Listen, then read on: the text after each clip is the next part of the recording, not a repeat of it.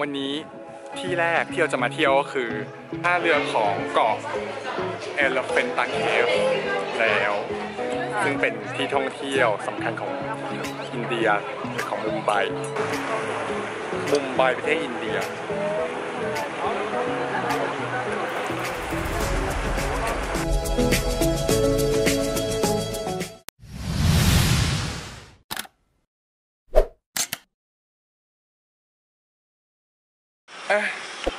เช้านี้ที่ที่แรกที่เราจะไปกันเลยก็คือ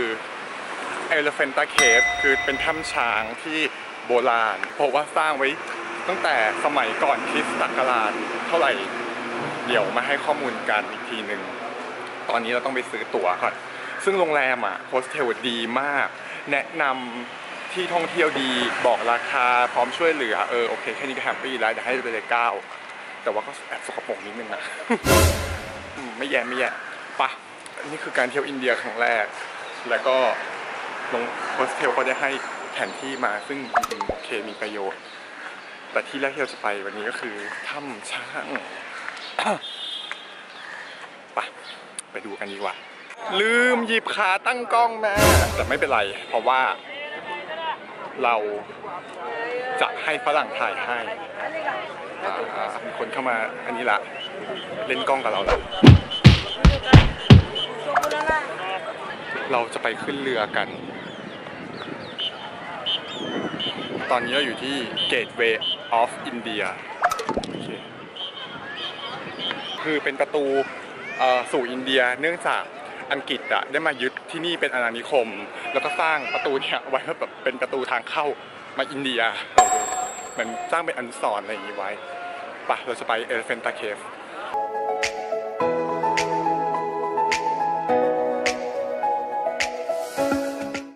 อนนี้เราเดินทางออกจากท่าเรือแล้ว Gateway of India และเรากำลังจะไปที่ Elephanta Cave ซึ่งเป็นที่ท่องเที่ยวสำคัญของอินเดียหรือของมุมไบที่นั่นจะมีถ้ำเป็นเขาเรียกว่าถ้ำภาษาไทยเรียกว่าถ้ำช้างเออเป็นถ้ำของศาสนาฮินดูที่แบบว่าเจาะภูเขาเข้าไปแล้วเหมือนรังมด ก็เดี๋ยวเราจะไปดูกันว่าเป็นยังไง ถ้ำนั้นถูกขึ้นทะเบียนเป็นมรดกโลกด้วยนะทางวัฒนธรรม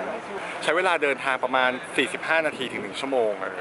วันนี้ท้องฟ้าปลอดโปร่งปลอดโปร่งคือไม่มีฝนแต่ว่าฝุ่นเยอะมากคือเนี่ยมลพิษทั้งนั้นเลย คือมันไม่ได้บอกว่าเออเพราะว่าหนาวแล้วมีหมอกก็ไม่ใช่นะมันคือฝุ่นพิษ มันคือ PM 2.5 ไม่เชื่อไปเปิดดูในเออในแอปได้เลยว่าเนี่ยมันคือมลพิษ สวยมากสวยมากถ้าไม่มีมลพิษจะดีกว่านี้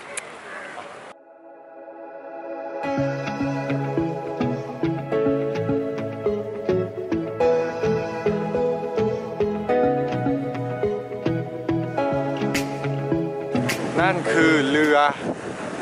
ของฐานทัพเรืออินเดียน่าจะเป็นเรือรบนะ แล้วก็มีท่าเรือที่เป็นแบบท่าเรือพาณิชย์อยู่นั่นสีเหลืองๆขอพูดเลยสักหน่อยคือมุมไบเนี่ยเป็นเมืองท่าของประเทศอินเดีย ดังนั้นพอเป็นเมืองท่าปุ๊บก็แปลว่าเป็นเมืองที่มีการค้าขาย เนื่องจากเพราะว่าเป็นเมืองใหญ่ที่อยู่ริมทะเลแหละเลยทำให้มุมไบกลายเป็นเมืองท่า และตามประวัติศาสตร์นั้นน่ะมุมไบอะเป็นเมืองแรกๆที่อังกฤษเข้ามาเออแล้วมาตั้งแบบสถานีการค้าคือ East India Company นั่นแหละ ตั้งที่นี่มุมไบก็เลยเจริญมาจนถึงทุกวันนี้ จนกลายเป็นเมืองที่ใหญ่ที่สุดของประเทศอินเดีย แต่ว่าไม่ใช่เมืองหลวง เพราะว่าระหว่างทางที่เราเดินมาที่นี้ยไอเดินไปขึ้นเรือ เออเราจะเห็นว่าแบบมีสิ่งก่อสร้างสมัยอาณานิคมเยอะมากแต่มันก็เก่าๆเพราะมันไม่ได้รับการบูรณะอืมนี่บรรยากาศจะเป็นแบบนี้คือ PM 2.5 เยอะมากโอ้ฝรั่งนอนแล้วอะ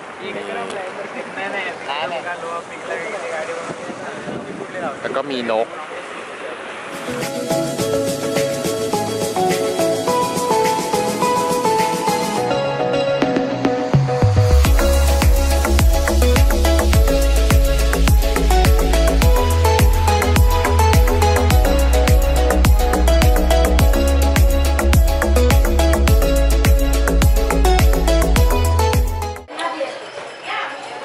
อนนี้เราถึง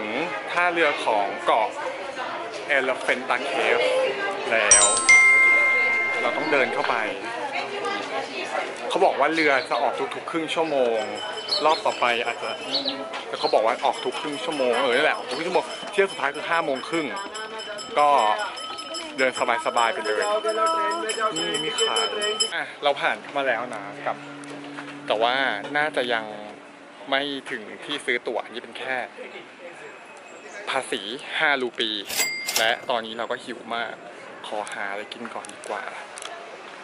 ก็คือขนมไรสาระหรืออะไรดีอ๋อมีแมกเน็ตขายด้วย แต่ยังไม่อยากซื้อ หาขนมกินก่อนก่อนดีกว่า ซื้อคุกกี้ how much 40 40 rupees 40, 40. You want to see? บอก40รูปี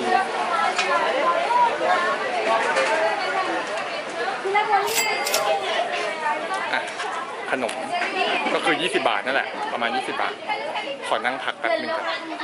เดี๋ยวค่อยไปสำรวจข้างในกัน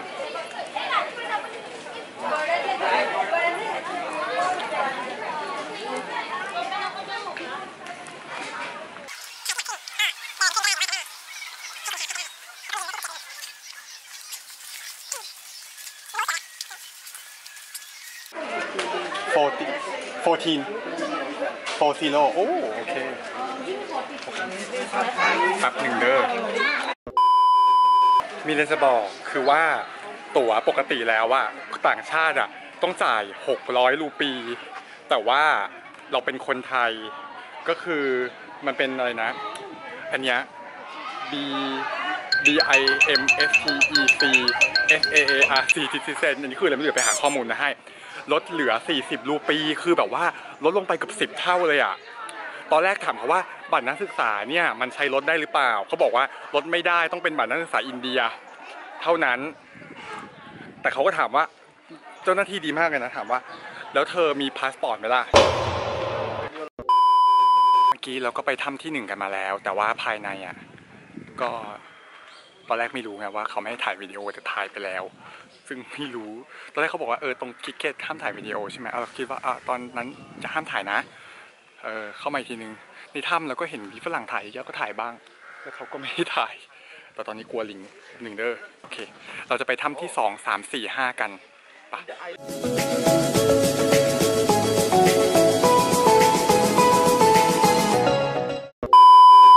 เป็นช่วงการให้ความรู้ คือ เกาะเอลเฟนตาเนี่ย คือหรือว่าที่นี่เขาเรียกว่าเอลเฟนตาเคฟเป็นเกาะที่มีถ้ำของศาสนาฮินดูก็คือเป็นศาสนสถานของฮินดู เป็นวัดก็คือเป็นวัดนั่นแหละเนาะนับถือพระศิวะเป็นหลักก็คือเป็นลัทธิของพระศิวะ นั่นเองเชื่อในพระศิวะ ก็เลยมีสลักรูปเคารพสำคัญของศาสนสถานแห่งนี้เรียกว่า มเหสวรตีมูลติ ก็คือเป็นการรวมทั้งสามภาคของพระศิวะเข้าไว้ด้วยกันในร่างเดียว แต่ยังคงรักษาคติของตีมูลติ คือเทพเจ้า อันเป็นผู้สร้างผู้รักษาและผู้ทำลาย ตามคติของตีมูลติจะประกอบด้วยพระพรหมพระอิศวรและพระนารายณ์เมื่อกี้เราก็ได้เข้าไปชมมาแล้วว่า รูปปั้น ไม่ใช่รูปปั้นสิ ต้องใช้คำว่า รูปสลักขนาด 5.45 เมตรเป็นยังไง แต่ว่าข้างในเราคนเยอะแล้วก็เสียงดังนิดนึง ที่นี่จะมีทั้งหมด 5 5ถ้ำนะ ถ้ำแรกเป็นถ้ำหลัก ถ้ำสองสามสี่ก็สามสี่ห้าก็เป็นถ้ำแบบ ก็มีไว้อย่างนั้น ไม่ได้มีอะไรเป็นสำคัญมาก ส่วนเกาะนี้ถูกค้นพบโดยชาวโปรตุเกส ก็คือเป็นทหารโปรตุเกส ค้นพบเสร็จแล้วก็เห็นว่ามีรูปสลักอยู่บนเกาะเนี้เป็นช้าง แต่ว่าช้างพวกนี้ไม่สามารถเห็นได้ในปัจจุบันแล้วนะ เนื่องจากทหารโปรตุเกสเอาไปเป็นเป้าซ้อมยิงกันหมดแล้ว แล้วมันก็เสียหายไปหมดแล้ว ที่เหลืออยู่ก็ไม่ใช่ช้าง แต่ยังคงเรียกว่า Elephanta Cave หรือเกาะช้างนี่เอง Elephanta ในภาษาโปรตุเกสก็แปลว่าช้างอะเนาะเดานะคล้ายๆกับภาษาอังกฤษ แล้วก็วิธีการมาที่นี่คือต้องซื้อตั๋วเรือจากเอ่อ Gateway of India นั่นเองตรงนั้นจะมีท่าเรืออยู่ ราคา 205 รูปี แต่ว่าเราจ่ายไป 240 เพราะว่าเขาไม่มีตังค์ทอนก็เลยเออช่างช่างแม่งไม่มีเศษจริง ๆ เขาก็ไม่มีจริง ๆ เราก็แบบเขาก็พยายามหาตังค์ทอนมาให้แล้วมันก็ได้แค่นั้นจริง ๆ ก็เลยเออไม่เป็นไรหรอก ใช้เวลาในการนั่งเรือมาประมาณ 1 ชั่วโมง ไป 1 กับ 1 ดังนั้นต้องเผื่อเวลาไว้นะอะละมีคนอยากเข้ากล้อง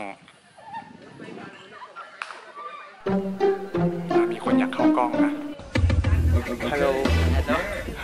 อยากเข้ากล้องคนอินเดียเขาชอบ เมื่อกี้เห็นว่าเราถ่ายวิดีโอก็เลยเดินเข้ามาเลย